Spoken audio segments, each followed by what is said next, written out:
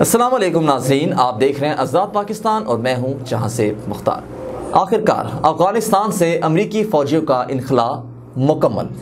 Kabul airport का इंतज़ाम संभालने के बाद तालिबान ने हवाई फायरिंग करके जश्न मनाया और तर्जमान जरील्ला मुजाहिद ने काबुल एयरपोर्ट का दौरा भी किया।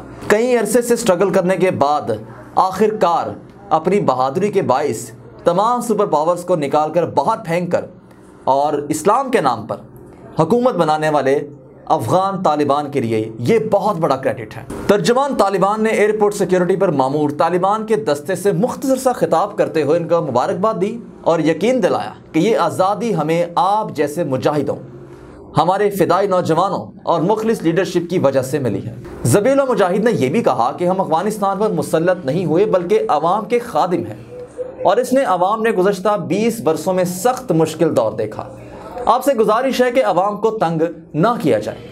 बाद तर्जमान तालिबान ने काबुल एयरपोर्ट के रनवे पर खड़े होकर मीडिया से गुफ्तगु में कहा कि आज का दिन तारीखी दिन है। अफ़गानिस्तान से 20 बरस बाद अमेरिका के निकलने पर पूरी कौम को मुबारकबाद पेश करते हैं और कौम से अहद करते हैं कि इस्लामी रवायात आज़ादी और ख़ुद मुख्तारी की हिफाजत करेंगे। आज के वक्त तमाम टीवी, इंटरनेट, सोशल मीडिया उन सब पर सबसे बड़ा बर्निंग इशू ही यह है कि तालिबान ने काबुल एयरपोर्ट पर टेक ओवर करके अमेरिका का फौजी इनखला मुकम्मल कर दिया। 20 बरसों से स्ट्रगल करते हुए मुसीबतें झेलते हुए, आवाम को देखते हुए और अफ़गानिस्तान का निज़ाम संभालते हुए आखिरकार आज ये वक्त आन पहुँचा कि अफ़गान तालिबान ने दुनिया में साबित किया कि टेक्नोलॉजी ना भी हो, तादाद ना भी हो अगर जज्बा ईमानी आपके दिल में भरा है तो आप बड़ी से बड़ी मुश्किल आसान कर सकते हैं। और हमारा दीन भी हमें इसी बात की तरगीब ही देता है कि जिसके पास ईमान की ताकत है, वो बड़ी से बड़ी फतह कर सकता है।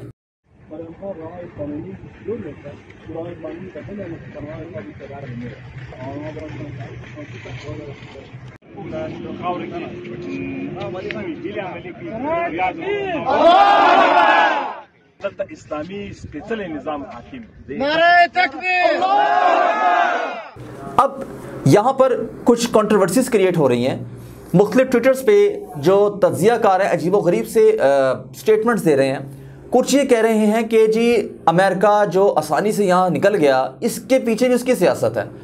वो सियासत कहते क्या है कि जी हो सकता है कि वहाँ पे कई ऐसे अखवान शहरी हैं जो अशरफ गनी की गवर्नमेंट के अंदर पले बड़े हैं। उनके चमचे खड़चे तो हो सकता है कि अमेरिका ये कहता है कि जी, हमारे जाने के बाद ऑटोमेटिकली वहाँ पे खाना जंगी क्रिएट हो जाएगी। जैसे हाल ही में काबुल पर तीन खुदकश बमबारी हुई। हम लोग की खुदकश बमबारी। जिसमें इल्ज़ाम यह हुआ कि या तो इंडिया मुलविस है, या अमेरिका ख़ुद मुलविस है, या अमेरिकन फ़ौज ने खुद करा। तो अगर उन ब्लास्ट को देखा जाए तो हो सकता है खुदा न खासा आने वाले वक्त में ये वक्त देखना पड़े कि अमेरिकन पॉलिटिक्स कामयाब हो जाए और अफगान तालिबान और जो अफगान शहरी हैं, उनमें बाकायदा से खाना जंगी क्रिएट होकर अफ़गानिस्तान का निज़ाम दरम भरम हो सकता है।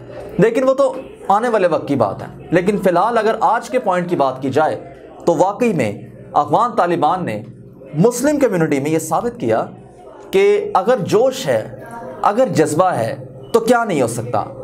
क्या वही जज्बा पाकिस्तान के मुस्लिम में आ सकता है। अगर वो ये जज्बा पैदा करते हैं तो हो सकता है कि हम भी गुलामी की जंजीरों से बाहर निकल जाएँ। और दूसरी बात यह कि बाकायदा अफ़गानिस्तान ने पाकिस्तान को अपना दूसरा घर भी करार दिया है। इस स्टेटमेंट का मतलब क्या है? तीसरी बात यह कि जबीउल्ला ये फरमाते हैं कि इंडिया को अब यहाँ पर घुसने नहीं देंगे। जितने इंडिया ने दहशतगर्दी के मनसूबे बनाए, उन सबको हमने नाकाम बनाकर बाहर फेंक दिया है। तो आने वाले वक्त में ये देखना है कि अफगान तालिबान अपनी हुकूमत अफ़गानिस्तान नहीं, बल्कि तमाम इस्लामी मुल्कों में किस तरीके से अपना लोहा मनवाते हैं? और ये साबित करते हैं कि वाकई अगर जो हुकूमत जज्बे के बेस पर हासिल की जाए और इतनी बड़ी ताकत को बाहर निकाल के फेंक कर अफ़गानिस्तान को वाकई अगर तरक्की याफ्ता मुल्क बनाने में कामयाब हो जाते हैं तो वाकई में उनको सलाम है। अपना अपने दोस्तों का ढेर सारा ख्याल रखिएगा। अगले प्रोग्राम में इंशाल्लाह जल्द मुलाकात होगी। तब तक के लिए अल्लाह हाफिज़।